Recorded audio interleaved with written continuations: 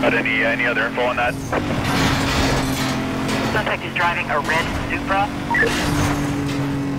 Log me onto that call, I'll head up that way for you.